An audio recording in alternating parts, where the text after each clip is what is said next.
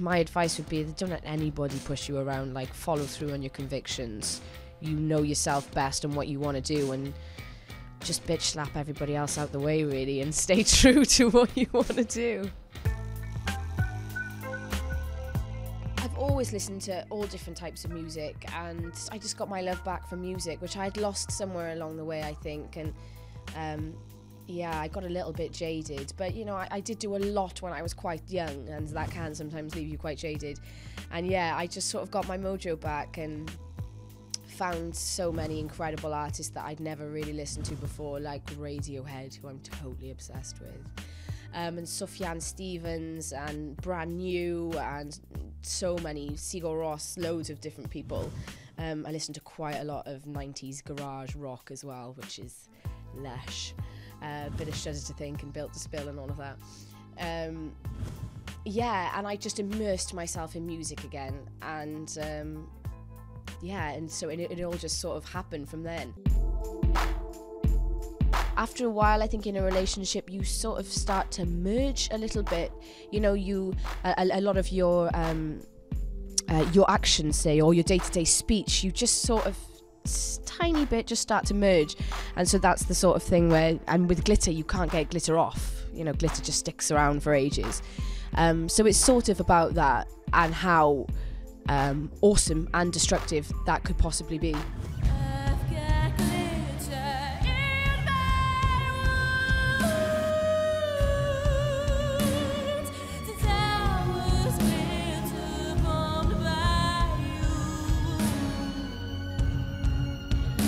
Definitely not glitter in my womb because that would have very funny connotations. Uh, it's, yeah, I've got glitter in my wounds. I just started just putting weird things on my face and having fun with makeup because I want to put on a show. I want it to be, you know, for it to sound incredible and for it to look incredible as well. But it does scare people a little bit sometimes, which is kind of fun. Uh, one video for how not to be surprised when you're a ghost um, which is full of kids like in ghost costumes and I'm sort of this I look like a Victorian school teacher or something.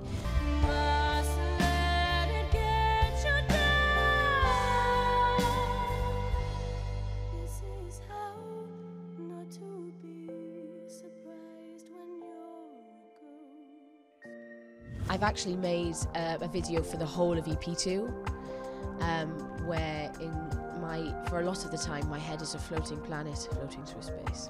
But we were just going to do glitter bombs, and then he listened to the EP. He was like, "Can I can I make can I make videos for them all?" I was like, "Yeah, okay."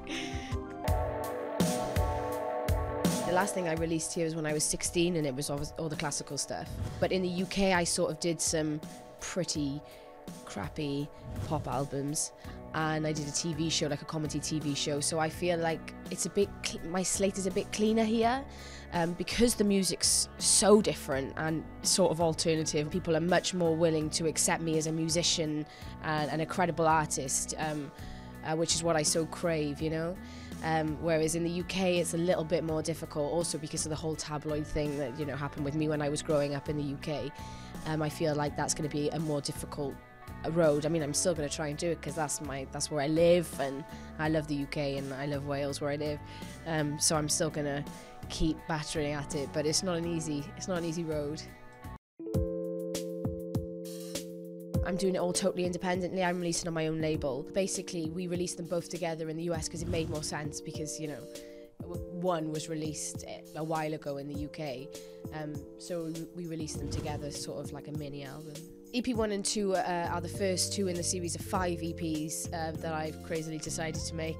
Um, and the reason I went for like an EP format over an album is because um, I feel like uh, it leaves us much freer to keep writing and keep going back, you know, go, going back to the studio and growing and getting better at everything, all of the elements. So it, it gave us it gives us an opportunity to evolve and keep getting better, um, which is crazy exciting. You know, as a creative person, that's that's you know what you what you hope for. With the EPs, if people can sort of find them and you know when you you have that feeling when you find a band and you feel a little bit of ownership, you feel real pride over that that you know that you know them and you found them and, and I'd love I'd love for people to find my music that way and you know rather than this you know stick it in your face seven times and hopefully you'll buy it um, sort of mentality. I'm I'm not into that at all.